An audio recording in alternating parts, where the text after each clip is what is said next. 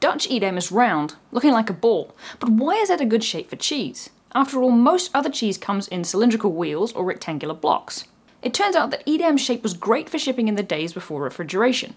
Being a sphere, it has less surface area, which helps it dry out less than either a wheel or a block. Its surface was also dyed red with turnsol, which also helped repel insects, further protecting the cheese from damage. As the round shape doesn't have any edges or corners, it was harder to damage while being transported. It was usually shipped in barrels, where its round shape was also an advantage as it was easier to pack into the irregular barrel shape.